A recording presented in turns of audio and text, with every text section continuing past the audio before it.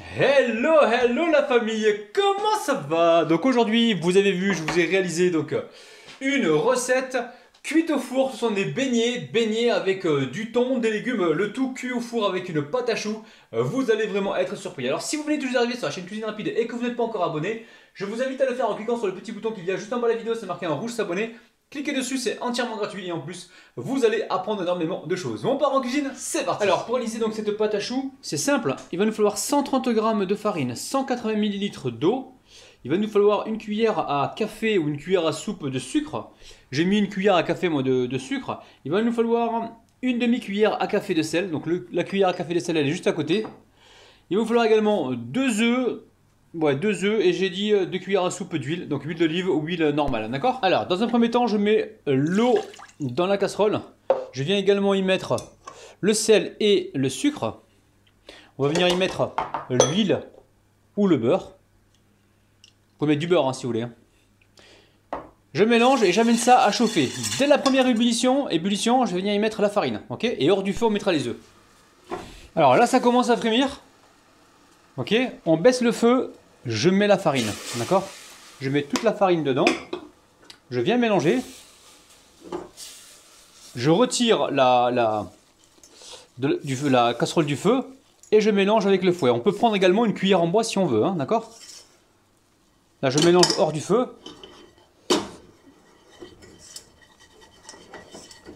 Alors, on va récupérer certainement une cuillère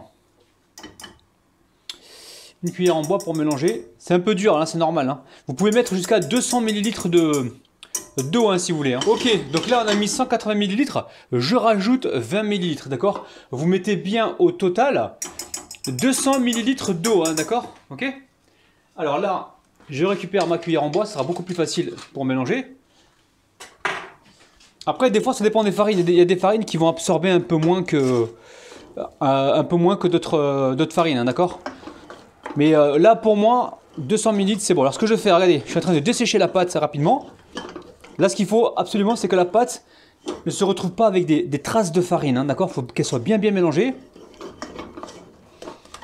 Alors, on mélange juste quelques minutes. Vous avez un feu qui est baissé, hein, d'accord? Le feu, il est très, très bas. Hein. Alors, une fois que c'est fait, on va pouvoir partir sur le plan de travail. Alors, une fois que c'est fait, je répète encore une fois, au total, j'ai mis 200 ml d'eau, d'accord?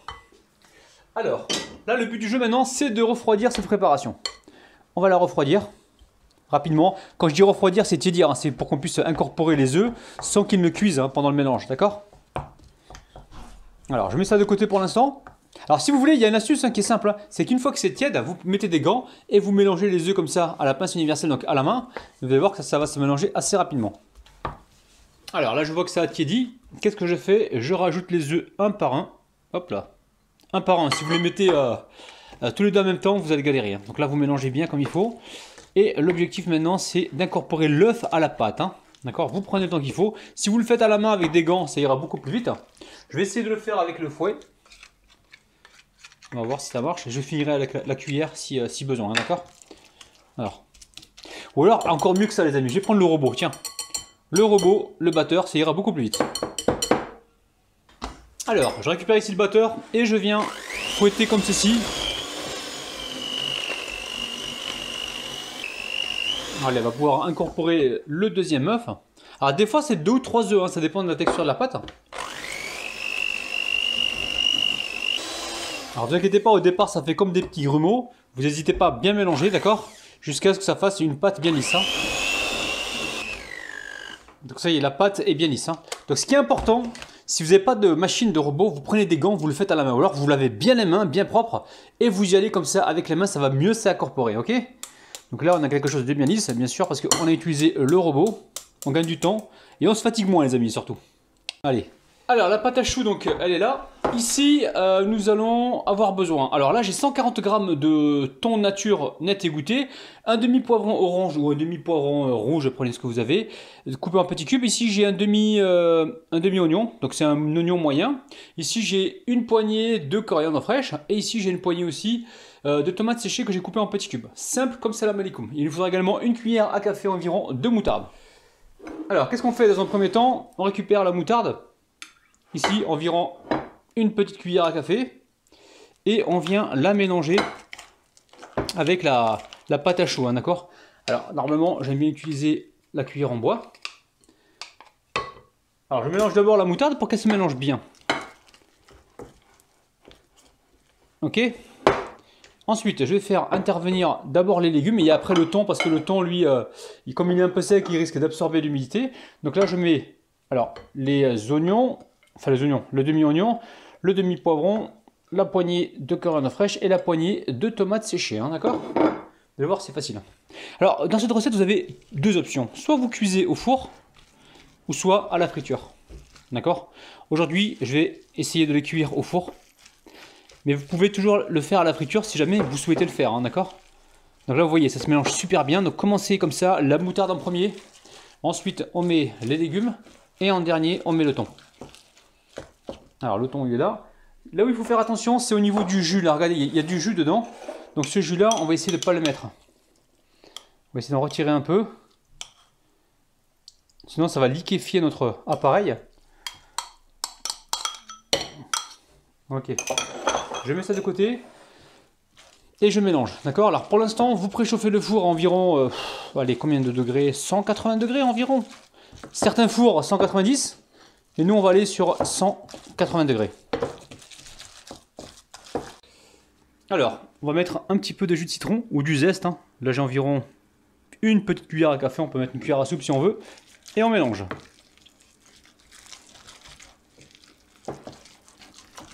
Après, essayez de voir au niveau de l'assaisonnement. Hein, si euh, là, je mets du poivre. Regardez au niveau du sel. Moi, le sel, ça m'intéresse pas trop. Hein. Pourquoi? Parce que j'ai déjà le thon qui est salé.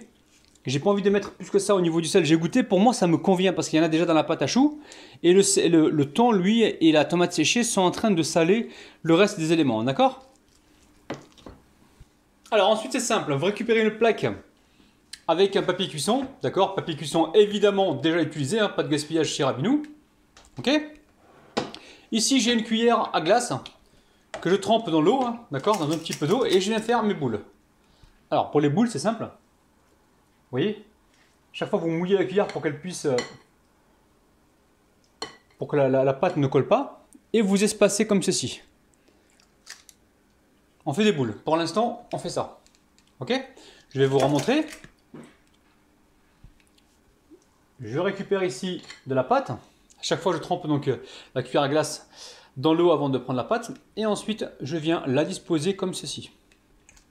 Donc, je vais essayer de la faire en quinconce, hein, d'accord? C'est-à-dire euh, là, là, là, là, ok je vais répéter donc la même opération et on se retrouve juste après. Pendant ce temps-là, préchauffez votre four à 180 degrés. Alors, la première plaque est faite. Donc moi, ce que, ce que je vous conseille, ne mouillez pas à chaque fois votre, votre, comment appelle ça, votre cuillère à glace, hein, d'accord? Vous la mouillez tous les trois passages, ok?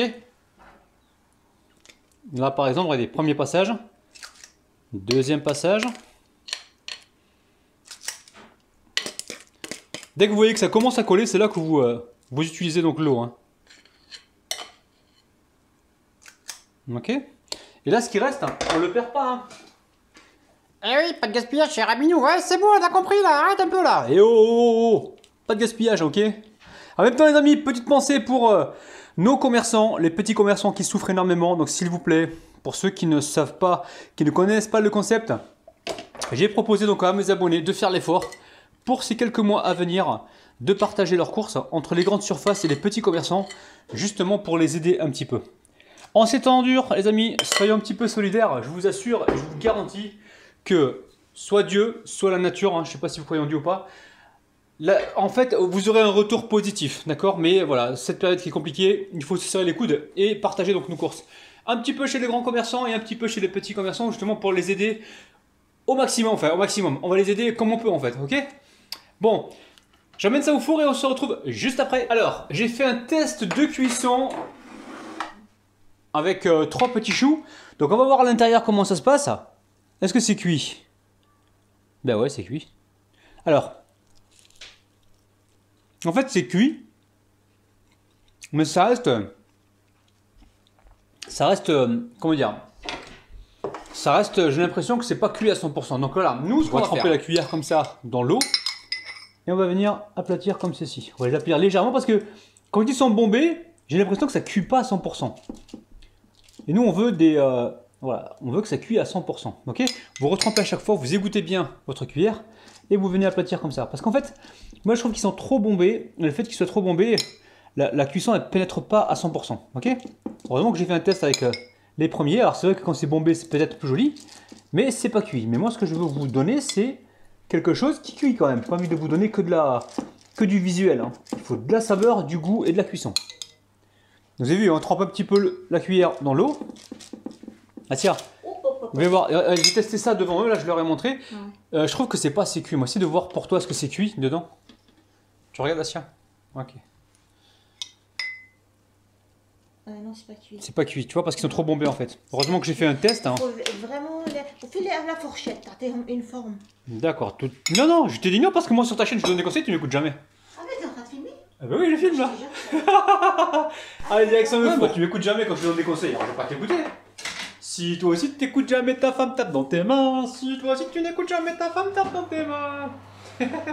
Allez, je vous dirai donc le temps de cuisson tout à l'heure. Ok? Ah ouais, ouais, on le voit pas, on le voit pas ici. tu montrer quoi? Voilà, Rabinette, elle a fait des petits muffins, mais elle les a pas filmés. Elle les a pas filmés, ils sont magnifiques, regardez-moi ça. Dinguissime. Je lui dis, tout ce que tu fais, faut filmer, sinon euh, ça sert à rien. Regardez-moi ça, c'est dingue. Allez, on se retrouve tout à l'heure, je vous dirai donc le temps exact de cuisson. Là, ça chauffe à 180 degrés. Hein. Donc ça y est, on arrive en fin de vidéo. Alors au niveau de la cuisson, vous prévoyez du temps. Donc moi j'ai mis, euh, alors j'ai commencé à 180 degrés. Progressivement, j'ai monté jusqu'à 200 degrés. Après, tout dépend des fours. Et au niveau de la cuisson, vous laissez cuire, laissez cuire. Ça peut prendre 25 minutes, 20 minutes, ça dépend des fours, hein, d'accord? On va voir un petit peu l'intérieur. Regardez-moi ça, les amis. Bismillah. Donc là, c'est vraiment cuit. Hein. Il n'y a pas de doute. Ok? Donc ne les laissez pas, euh, comment dire, ne les laissez pas euh, bomber parce que vont, vous allez galérer avec. La cuisson, elle sera pas au top. Ok, donc je préférais faire un essai au départ. Là, c'est franchement nickel. Bismillah, on goûte? Allez. Mmh, magnifique. Magnifique. Prenez soin de vous. Je vous kiffe. Je vous aime. Bise. N'oubliez pas qu'on se retrouve tous les jours à 9h le matin. On se retrouve également en live le mercredi à 16h. On se retrouve pour les concours tous les samedis à 16h. Je vous kiffe. Je vous aime. Bis. Bye bye.